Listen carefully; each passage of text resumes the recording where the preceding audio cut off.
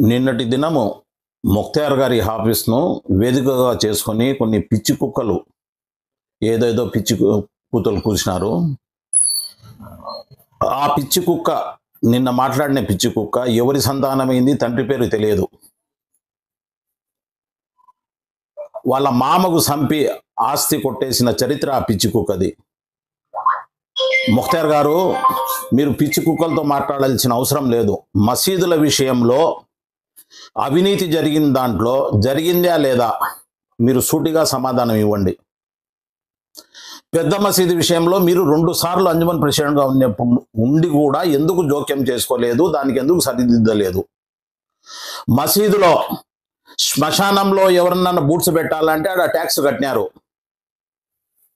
ఆ మసీదులో ట్యాక్స్ తీసుకునే విషయం మీకు తెలుసు. మీకు వాటా లేకపోతే ఎందుకు అడగలేదు? ఎందుకు దానికి ఆ రోజు మీరు అంజుమన్ ప్రెసిడెంట్గా దానికి రద్దు చేయలేదు? కరోనాలో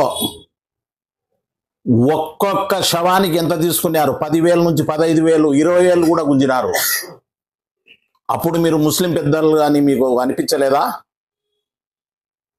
ఈ మసీదులలో గోల్మాల్ జరిగినప్పుడు అనిపించలేదా? ఈ ఊరికి ఉద్ధరించేదానికి పుట్టిన నేను నాయకుని అని?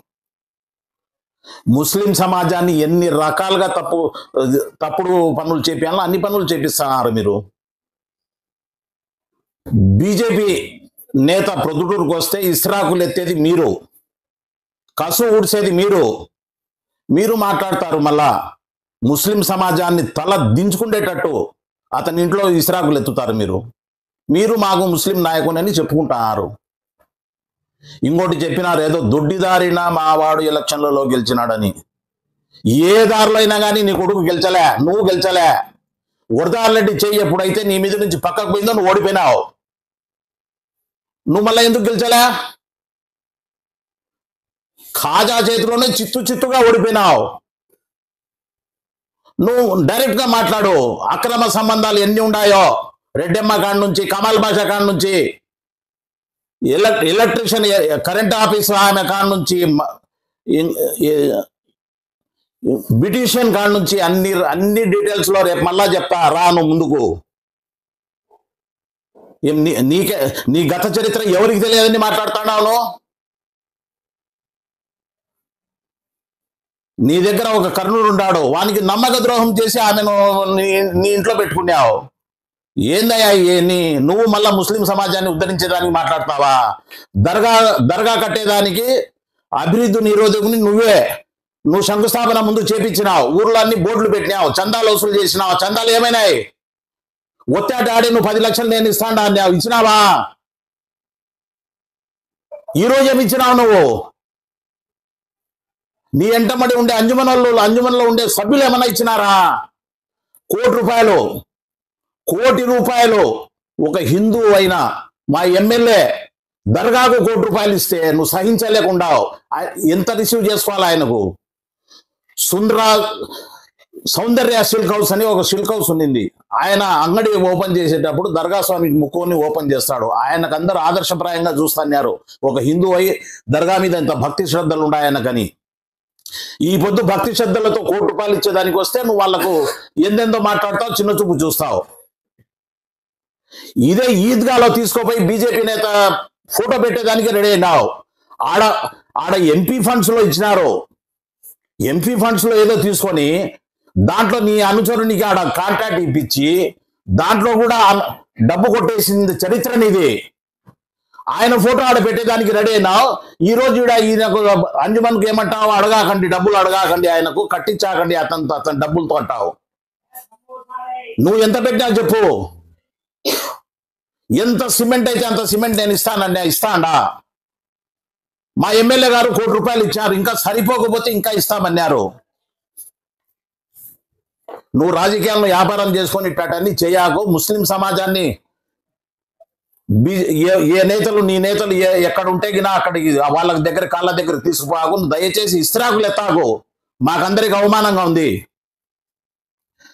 నిన్న నేను ఇంకోటి చెప్పిన రెండు వందల అరవై ఒకటి సర్వే నెంబర్లో నాలుగు ఎకరాలు అన్యాక్రాంతమైంది ఎకరా పదహైదు నుంచి ఇరవై కోట్లు ఇప్పుడు అది. నువ్వు ముస్లిం అయితే రా పోయి నిలబెడదాం. అందరం కలిసి దానికి మళ్ళా తీసుకుందాం వాపసు. మేము సంవత్సరాలతో పోరాడుతున్నాం. మొత్తం రికార్డు మా దగ్గర ఉంది. ఇవన్నీ పేపర్లు అయ్యే. ఇవన్నీ పేపర్లు అయ్యే. ఎవడెవడు కొన్నాడు? ఎవడు ఎవడిని చమ్ముకుంటున్నాడు మోడంపల్లె మసీదులో కొన్ని వందల కోట్లు అక్రమాలు జరిగినాయి.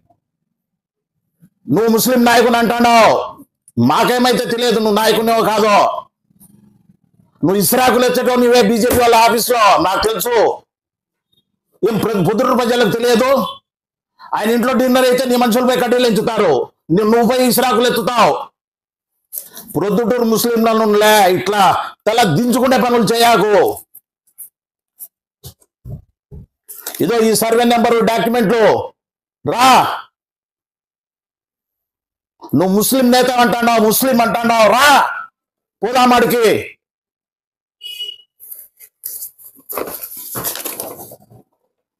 నేను నేను బాంబేలో ఇరవై ఐదు సంవత్సరాలు ఉన్నా. ధరావి పోలీస్ స్టేషన్.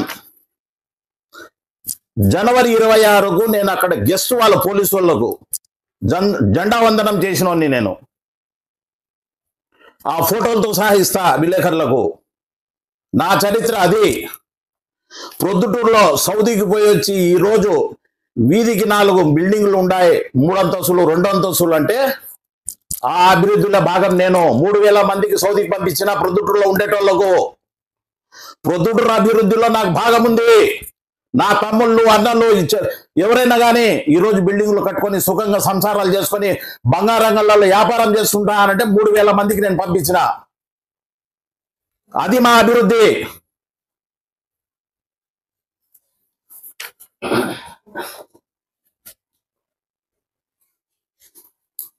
దయచేసి ఇప్పుడైనా కానీ నీ బుద్ధి మార్చుకొని ఏదో ఐదు పూట్ల నమాజ్ చదువుకొని విశ్రాంతి తీసుకో ముక్తార్. ఇట్లాంటి నీచపు రాజకీయాలు ఇంకా చెల్లవు.